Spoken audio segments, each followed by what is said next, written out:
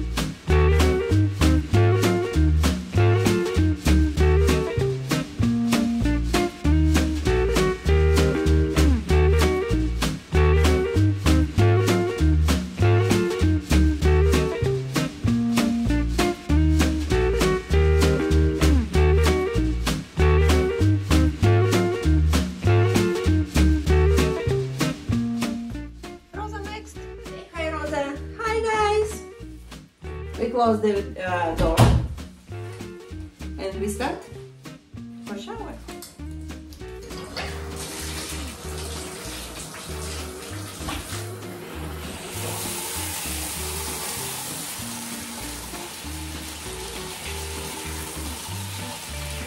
Before, before shower, I always check water because if dog comfortable, dog feel very good with shower.